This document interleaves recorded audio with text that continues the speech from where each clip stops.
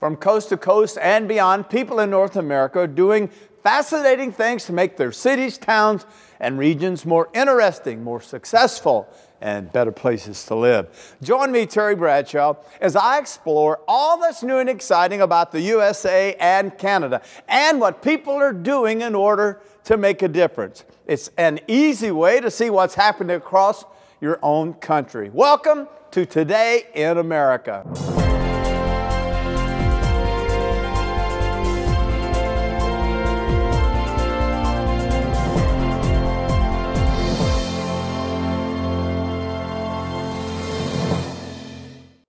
The world we live in has changed. Nowhere are we as safe as we once thought we were, not even within the borders of the United States.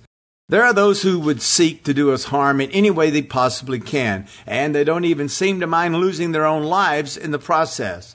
After such sneak attacks as that perpetrated on the USNS Cole, this country has tightened the security it imposes on shoreline targets. While it is important to erect a visual deterrent, it is vital to have some kind of stopping power against waterborne attacks using small, fast moving boats.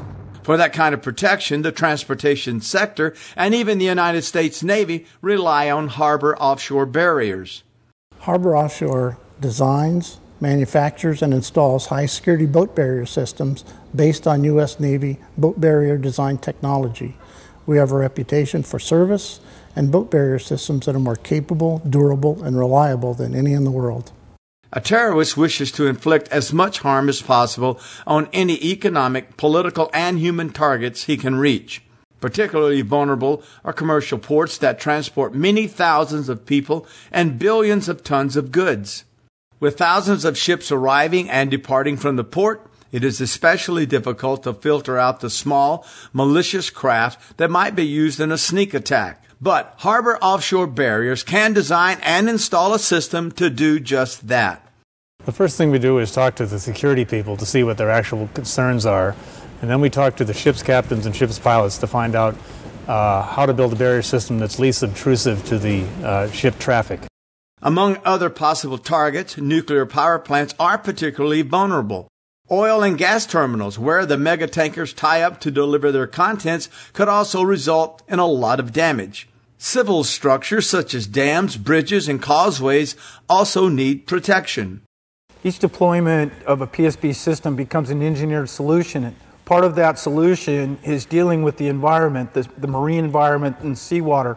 One of the things that we were able to do at First Ferguson Industrial Plastics as a team member was to provide HDPE pontoons or floats for the system itself that resist corrosion and work well in a marine application versus the old steel type.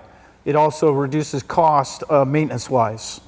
Land based security systems are important to have in place. Fences and gates, electronic surveillance and detection systems, along with patrolling security personnel, all play a vital role. However, landside security measures need to be complemented by waterside protection as well. What these durable boat barrier systems provide is stopping power. After the USS Cole incident, the U.S. Navy did extensive research on readily available materials to introduce a barrier system that would protect against uh, vessel threats. The need for such stringent security was not even foreseen just a few years ago. So the sudden need to reinforce the nation's many access points has meant an unprecedented drain on budgets. Harbor Offshore Barriers endeavors to provide effective waterside protection in the most cost efficient manner possible. We've been working with the Navy since 2000. When the USS Cole was attacked in Yemen, the Navy determined that they needed floating security barriers around their facilities worldwide. Since then, we've installed approximately 70% of their systems. Anyone who feels the cost of such protection may be an impediment should simply consider the potential cost of a successful attack. Our experiences with global terrorism over the past decade serve as a powerful example.